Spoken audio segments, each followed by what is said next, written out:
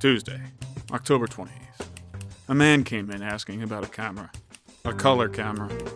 I told him he needs monochrome, but he insists he needs color.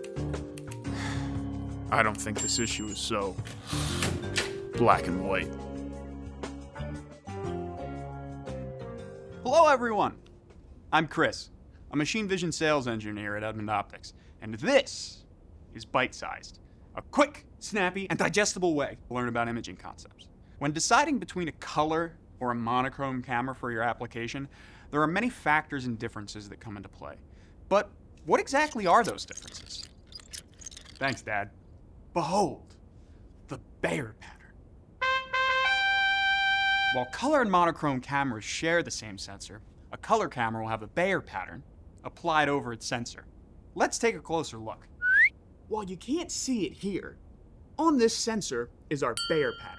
It's made up of thousands and thousands, thousands and thousands, thousands and thousands of tiny little coded pixels working together to create our final color image.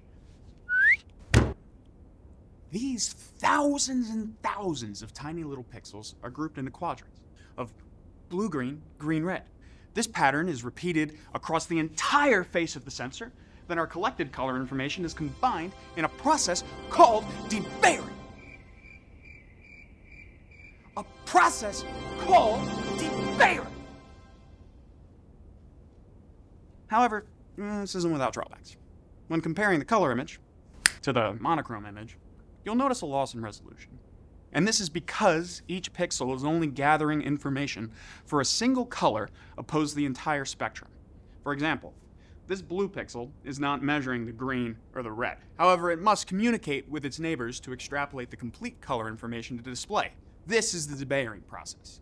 Because it's using calculations instead of direct measurements, this can lead to inaccurate information like jumping pixels. Because it's constantly calculating the other color channels, this leads to an inconsistency. To see this phenomenon in action, let's pop over to the lab. Welcome to the lab. Here we have our two cameras. The left is color and the right is monochrome. On the monochrome image, the lines are clear and discernible. This means there's lots of contrast in our image, which is vital to applications such as barcode reading and OCR. Next, let's look at our color camera. We see the same lines as the monochrome, but they appear in more of a checkerboard pattern. And we can see those pesky jumping pixels again. If color information is vital to your application, and you have three or more colors, I would recommend a color camera. However, if you only have one or two colors, a monochrome camera can still get the job done through the use of a filter. When I slide these wiffle balls into frame, you can see we have a bit of a problem. We can discern the difference between the two on the color camera, but on the monochrome camera, the distinction is not as apparent. But add a blue filter, we solve the problem.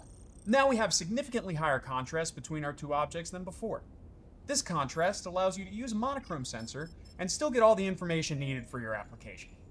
And now you know the basics of color and monochrome cameras, how the Bayer pattern works, and ideal applications for both types of sensors. Thanks, cadets, for traversing the optical space with me today. If you have any questions, concerns, or would like to learn more, visit us at edmundoptics.com. I'm Chris Razzie, and this has been Byte Size.